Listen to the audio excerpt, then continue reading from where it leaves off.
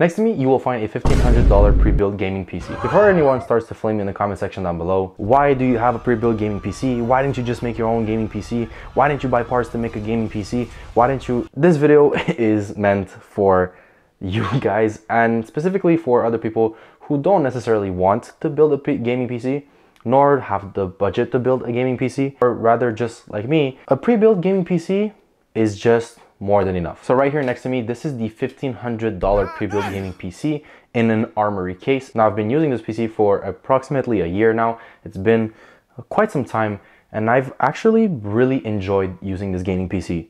Quite simply, it's great. So before I jump into the specifics of the PC, which you guys are probably wondering why I bought this one specifically, I could have built my own PC, I could have bought parts, I could have bought a case, and I could have constructed the whole thing. It sounded like fun, and I would have liked to do that, but I realized in the process that it would be a lot of investment, it would be a lot of time and money spent on something that doesn't actually hold that much importance to me. I wanted a machine that was gonna get the job done and that was gonna allow me to play games on good, high quality graphics, but I didn't really wanna spend time building a gaming PC. And that's totally okay. Most people, you know, if you're a gaming PC nerd, you would probably flame me or you'd probably flame anyone who for buying a pre-built gaming PC because sometimes, you know, you're getting a machine, it lacks components. There's one good thing about the machine and everything else kind of sucks. But this one, it's right in the middle. I think it is a great bang for your buck. It has fantastic value. So let's jump into the specifics of this machine. It has a really nice white frame and a white case. This is something that was one of the main criteria on my list. I wanted a nice, clean, white gaming PC. You can buy your own case. This one just happened to have a white case. It's great. It also has a removable panel. It's great. It's tinted and it allows to see everything inside of the PC. It has RGB, something that I wanted. Not necessarily a main factor of the PC, but it's this one had it and I was like, this is great. I already wanted RGB, it comes with it. But it's not about the flashy colors of the RGB and the fans. It's not about the case, so it's white, it's black, it's brown, it's multicolored. It doesn't really matter. The important part of the PC at the root of it is the component. So it has a GeForce RTX 3060, which is actually really, really good. Now on top of that, we're also looking at a one terabyte SSD. It's great. There's more than enough, more than enough storage in there to store your games, to store files, footage. Now I think that one terabyte SSD is great. It's just the perfect sweet spot nowadays. Games can be pretty heavy, so you have games like Call of Duty that you'll require like 200, 300 gigs. You can download that on a separate hard drive or if you want it to run super smooth you can download it on the SSD but you have a one terabyte it's more than enough to handle basically everything and anything. So it also has 16 gigabytes of RAM. It has two individual 8 gigabytes sticks of DDR RAM that are RGB custom and it's great. It all matches in, it all ties in together. So powering this machine is an AMD Ryzen 5 5600. It is a great processor, okay? It's not the best on the market. There's an AMD Ryzen 7, there's AMD Ryzen 9. There are some better processors out there. I know Intel has their Intel Core 9 and Intel Core 12. There's far better processors out there, but they will run you a lot of more money. And the point is the AMD Ryzen 5 powers this machine really really well it, it's great you know you can run multiple games i've run overwatch i've run battlefield i have run things of that nature. I have run like you know League of Legends, but those are you know candy games. They're really easy to run. You can run them on a potato at this point. The point is it handles basically any kind of game. I've also played Call of Duty. All of these were played on high graphics and I've had no issues really on a widescreen on you know the max resolutions and it's been good. The graphics card performs well. The AMD Ryzen handles basically anything. Speaking of games, this is one I have found myself playing a lot lately. I must have dumped a few good hours in it. Moonlight Blade is an action-packed MMORPG that is totally free to play. Starting with over 5 factions you can choose your character to be a part of. Once you have customized your character, you are plunged into this beautiful vast open world filled with exciting adventures set in an ancient Chinese environment.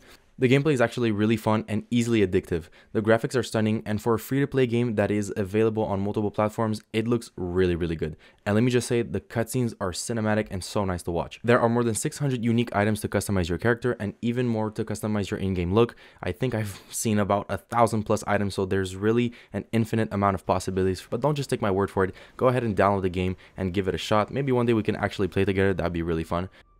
Now, if you're in a situation that you wanted to handle some productivity tasks, you can also do that. It's great. It has a good multi-core function. Overall, everything packaged into this machine for $1,500, it's good. It has a beautiful design. It looks really clean, actually. It has a decent amount of ports. It also comes with a little Wi-Fi adapter inside because the uh, initial chip inside is actually kind of garbage so don't use it use the adapter it came in the box so that's great I didn't have to buy it very easy plug and play and it really enhanced my connectivity in terms of Wi-Fi I've been able to capture some really good speeds to the point where as a lot of games I didn't even need to play with a LAN cable because that's how good the adapter was you can even customize the machine I've put a little pop figure in there as you'll see I have a Goku I sometimes switch it out. I'll put like my Vegeta pop figure. And look, for the purpose of this video, I even put my Naruto figurine in there, which is a little bigger, just to show you that there's space in there. You can customize it with RGB lights and the beautiful clean white case and the tinted glass that is removable. I think this is a really clean, simple, beautiful machine that also delivers power and gets the job done. This is why I bought this machine. I didn't necessarily want to spend a good two, three weeks, or maybe even more, looking for the right pieces, you know, spending a lot of money on something that I don't use that much. That's the reality of things. I don't use the gaming PC that much. I only use it on the occasion. I play some games here and there. A lot of times I actually play games by myself because most of the time when I do have gaming sessions with the guys, we're playing on the PlayStation 5. So this is the perfect machine for me. Now, obviously some of you guys will say it's trash, it's garbage, don't buy it that's your opinion. I think everyone is entitled to that. But let me know what you think of this gaming PC for $1,500. Would you buy it? Would you not buy it? Would you stay away from it? Have you built your own gaming PC? I'm curious to know. Let me know in the comment section down below as I'm always curious to kind of have a conversation with you guys. Now, for that being said, if you're trying to pick one of these up, I will be leaving a link in the description down below. All right, guys, so I have to pop in real quick because my camera had died on the last recording, but thank you so much for watching this video. I hope you've enjoyed. Make sure you let me know what you think about the gaming PC. Is it good? Is it bad? Would you pick up a pre-built or would you just stick to making your own PC? I actually would like to maybe build in the future, maybe build a nice gaming PC for you guys on the channel just for the purpose of the video. But yeah, thank you so much for watching. Let me know if you do end up getting Moonlight Blade. We could actually play some time. Make sure you let me know in the comment section below if you've got it and we can connect one of these days and hop on. With that being said, thank you so much for watching. I will catch you guys on the next one. As always, I wish you the best of luck in everything you do and I'll see you on the next one. Deuces.